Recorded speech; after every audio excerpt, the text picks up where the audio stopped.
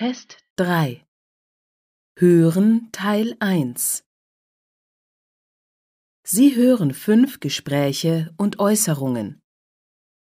Sie hören jeden Text einmal.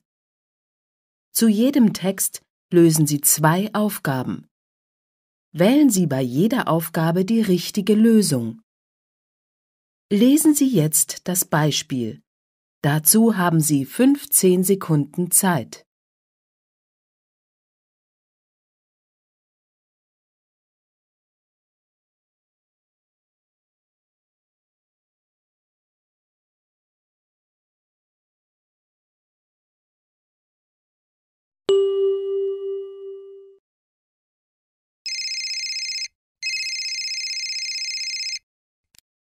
Hier ist das Bürgertelefon Schneider.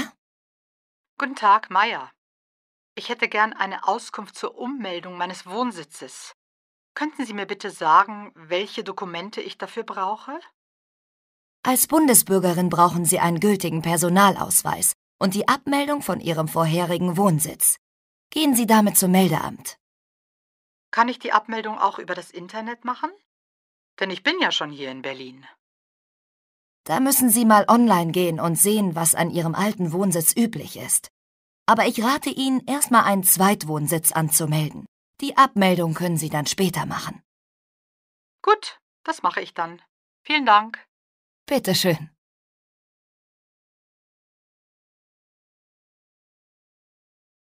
Lesen Sie jetzt die Aufgaben 1 und 2.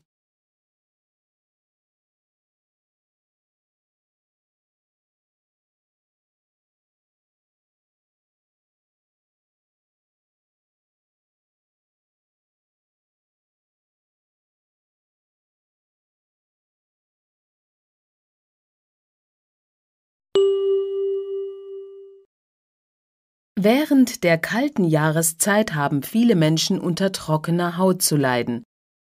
Oft hat das nicht nur mit der Jahreszeit, sondern auch mit der Veranlagung und dem Lebensstil zu tun.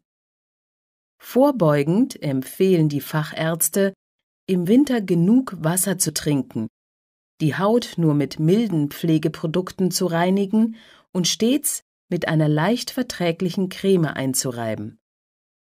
Gewöhnliche Seifen und übertriebenes Waschen können der Haut sogar schaden. Wer eine gesunde Haut haben möchte, sollte auch auf Rauchen und Alkohol verzichten.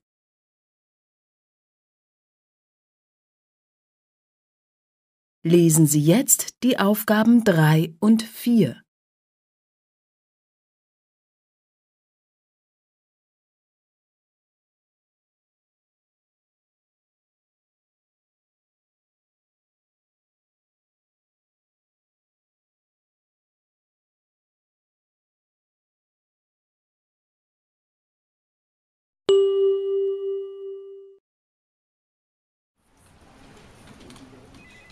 Erzähl mal, wie war denn dein Geschäftsessen gestern?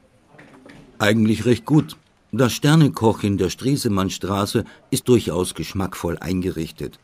Stilgerecht, alles 50er Jahre. Jedenfalls soweit ich das beurteilen kann. Auch der Service ist sehr gut. Alle sind höflich und zuvorkommend.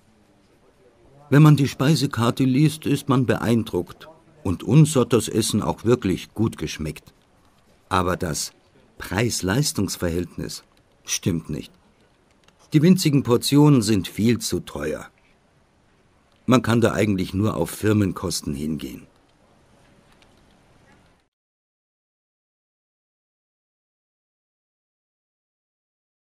Lesen Sie jetzt die Aufgaben 5 und 6.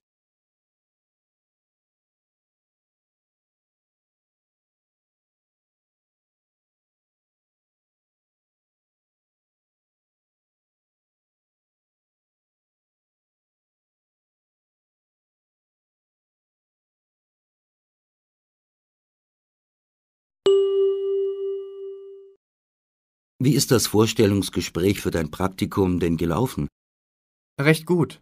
Der Zuständige hat über eine halbe Stunde mit mir gesprochen. Dabei ging es um meine Erfahrungen, meine Lieblingsfächer und meine Vorstellungen, was die Zukunft angeht. Klingt gut. Wann bekommst du denn Bescheid, ob sie dich nehmen? Das dauert noch eine Weile. Außerdem muss ich noch einmal kommen, haben die mir gesagt. Da soll ich noch einen Eignungstest machen. Ach so.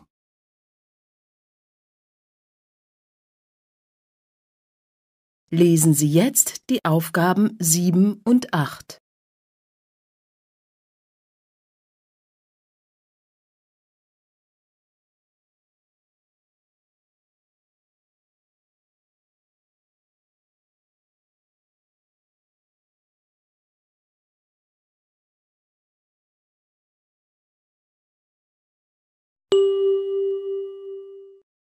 Kannst du mir mal helfen? Klar, was gibt's? Ich möchte diese App herunterladen, aber das funktioniert nicht richtig. Mir ist nicht klar, was da schiefgelaufen ist. Naja, da sind bestimmte Benutzungsbedingungen. Und hier steht, dass der Anbieter für die App auf deine Smartphone-Daten zugreifen darf.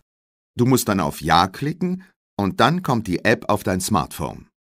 Welche Daten meinen die denn? Steht hier doch. Deine Fotos, dein E-Mail-Account, dein GPS und so weiter. Und wenn ich das nicht möchte? Ich glaube, dann kannst du die App nicht herunterladen.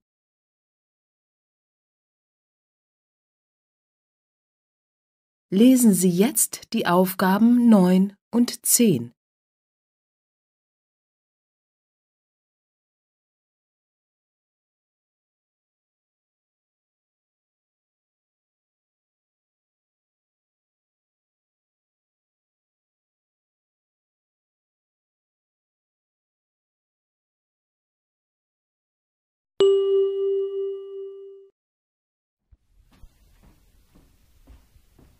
Ich habe ein Stipendium und gehe für ein Jahr nach New York. Dort arbeite ich an meiner Bachelorarbeit.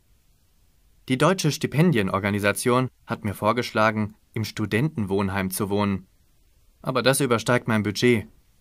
Weißt du, wo ich da billig wohnen kann? Als ich letztes Jahr in den USA war, habe ich über eine Website günstige Privatübernachtungen gefunden. Aber immer nur für 10, maximal 14 Tage. Nicht für längere Zeit. Kontaktiere doch die Uni dort und bitte um Vermittlung eines Privatzimmers. Vielleicht kann man da irgendwo kostengünstig zur Untermiete wohnen. Wenn man etwas als Gegenleistung anbietet, zum Beispiel Deutschunterricht. Ja, das versuche ich mal.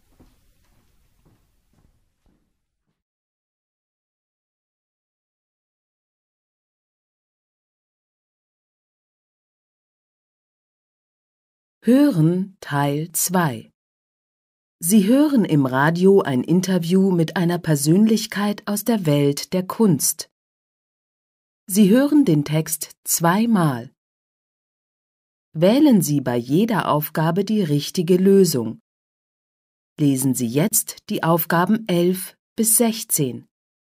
Dazu haben Sie 90 Sekunden Zeit.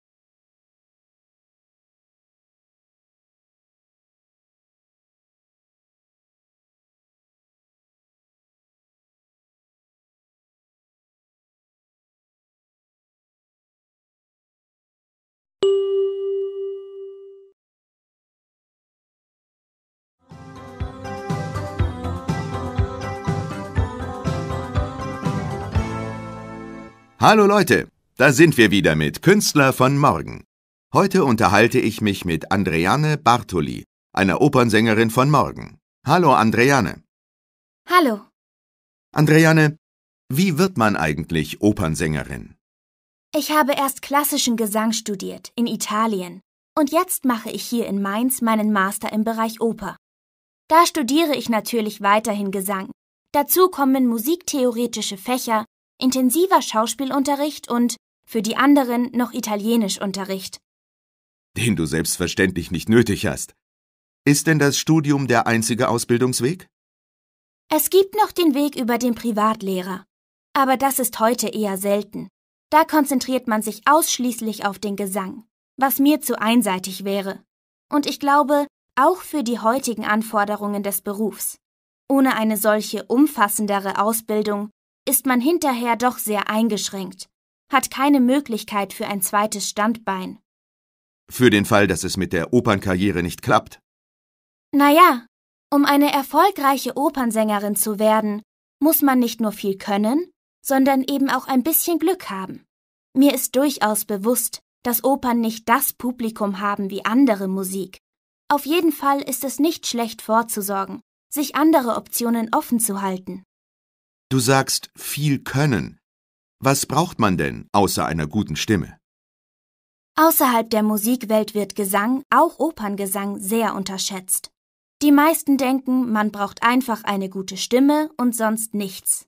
Man muss aber auch sehr diszipliniert sein und sehr, sehr viel an sich, an seiner Stimme, seiner Schauspieltechnik arbeiten.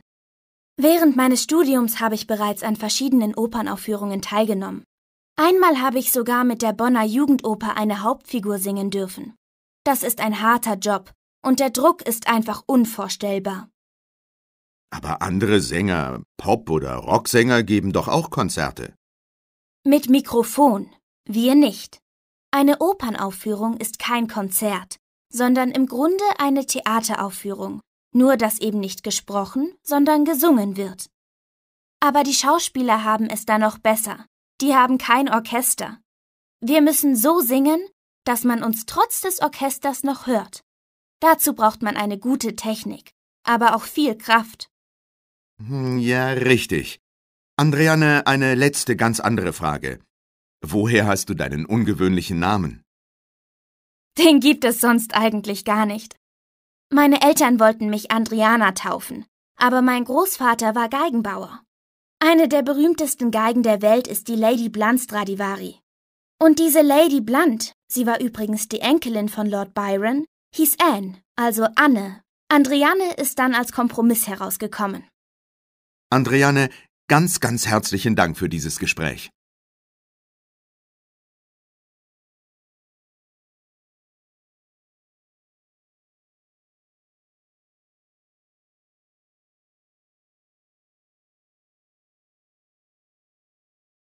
Sie hören jetzt den Text noch einmal.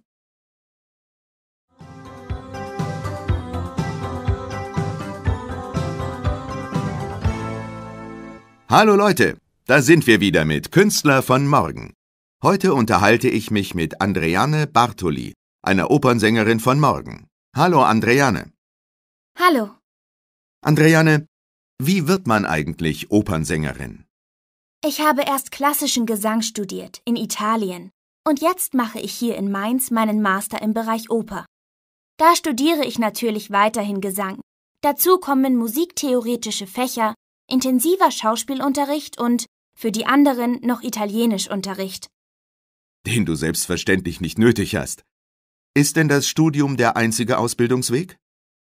Es gibt noch den Weg über den Privatlehrer. Aber das ist heute eher selten. Da konzentriert man sich ausschließlich auf den Gesang, was mir zu einseitig wäre. Und ich glaube, auch für die heutigen Anforderungen des Berufs. Ohne eine solche umfassendere Ausbildung ist man hinterher doch sehr eingeschränkt, hat keine Möglichkeit für ein zweites Standbein. Für den Fall, dass es mit der Opernkarriere nicht klappt. Naja, um eine erfolgreiche Opernsängerin zu werden, muss man nicht nur viel können, sondern eben auch ein bisschen Glück haben. Mir ist durchaus bewusst, dass Opern nicht das Publikum haben wie andere Musik. Auf jeden Fall ist es nicht schlecht vorzusorgen, sich andere Optionen offen zu halten. Du sagst viel können. Was braucht man denn außer einer guten Stimme? Außerhalb der Musikwelt wird Gesang, auch Operngesang, sehr unterschätzt. Die meisten denken, man braucht einfach eine gute Stimme und sonst nichts. Man muss aber auch sehr diszipliniert sein und sehr, sehr viel an sich, an seiner Stimme, seiner Schauspieltechnik arbeiten. Während meines Studiums habe ich bereits an verschiedenen Opernaufführungen teilgenommen. Einmal habe ich sogar mit der Bonner Jugendoper eine Hauptfigur singen dürfen. Das ist ein harter Job und der Druck ist einfach unvorstellbar. Aber andere Sänger, Pop- oder Rocksänger geben doch auch Konzerte. Mit Mikrofon. Wir nicht. Eine Opernaufführung ist kein Konzert, sondern im Grunde eine Theateraufführung, nur dass eben nicht gesprochen, sondern gesungen wird. Aber die Schauspieler haben es da noch besser. Die haben kein Orchester. Wir müssen so singen, dass man uns trotz des Orchesters noch hört. Dazu braucht man eine gute Technik, aber auch viel Kraft. Hm, ja, richtig. Andreane, eine letzte ganz andere Frage. Woher hast du deinen ungewöhnlichen Namen? Den gibt es sonst eigentlich gar nicht. Meine Eltern wollten mich Andriana taufen, aber mein Großvater war Geigenbauer. Eine der berühmtesten Geigen der Welt ist die Lady Blunt Stradivari. Und diese Lady Blunt, sie war übrigens die Enkelin von Lord Byron, hieß Anne, also Anne. Andriane ist dann als Kompromiss herausgekommen. Andreane, ganz, ganz herzlichen Dank für dieses Gespräch.